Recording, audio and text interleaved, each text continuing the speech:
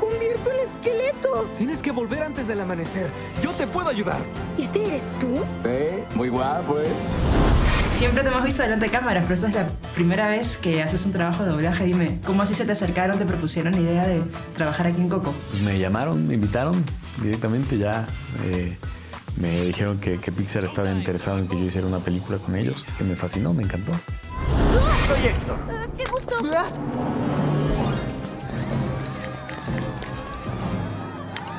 ¡Espérame, chamaco!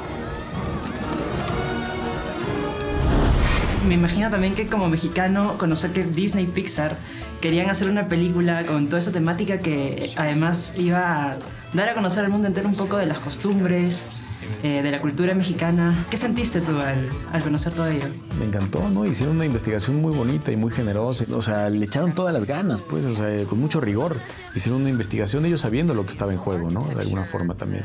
O sea, ellos saben que, que tenían que cumplir con, con ciertas exigencias, pues, de la, del, mundo que estaban retratando, de la cancha que tenían que armar, ¿no? Del, del, mundo, pues, o sea, que, que iban a ellos a, a- a formar para después expresar en un punto de vista muy personal. Así que lo hicieron bastante bien. Yo estoy muy contento con el resultado. ¿Ese es tu plan? No, no, no, no, no, no, no, no. No, no, no. No tienes que ganar, Miguel.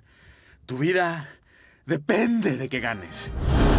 ¿Qué te pareció la experiencia de trabajar solo con tu voz para interpretar a un personaje? Normalmente, bueno, haces una performance con, con el cuerpo entero, pero ahora es solamente la voz. Sí, pero, pero en realidad cuando, cuando hacemos la versión original es, eh, es también estás actuando mucho, o sea, estás jugándole mucho con el cuerpo tal y te están grabando.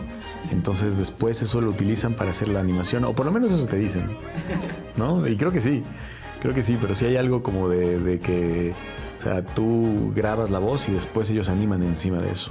Entonces sí, sí actúas de alguna forma. Nada mal para un esqueleto. Tú también eres grande, gordito. La música es muy importante en Coco y muchos no saben, pero también es una de tus pasiones. Ya que tuviste la oportunidad de cantar, ¿cómo fue esa experiencia? Pues me encantó, me encantó, me gusta mucho cantar en la vida y aquí hubo un proceso bastante cuidadoso donde me, me ayudaron mucho pues para darme ánimos a- para cantar, para sacarlo ahí, para sacar los echar gorgoritos, ¿no? Te salió, Este, te salió muy padre. Gracias, qué buena onda, muchas gracias. Solo puedo volver a la tierra de los vivos si de la cruz me bendice. Extrañamente específico. Él es mi tatarabuelo. ¿Qué?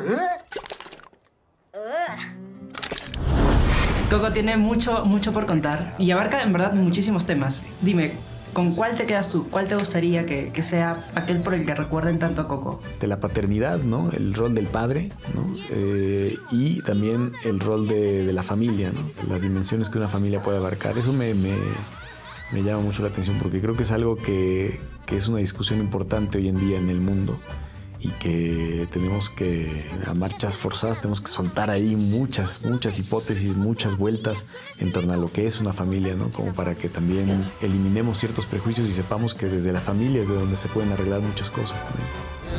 Camino igual que un esqueleto, para ser igual. No, los esqueletos no caminan así. ¿Así lo haces tú? No es cierto. Ya basta. A toda la gente de Perú, los invito a que vean la película de Coco, que justamente va a estrenar el día de mi cumpleaños, así que sería el mejor regalo si ustedes van y la ven. Digo, si quieren, ¿no? Gracias. Mi familia y yo podremos tener nuestras diferencias, pero nos mantenemos juntos. Nada es más importante que la gente que amas.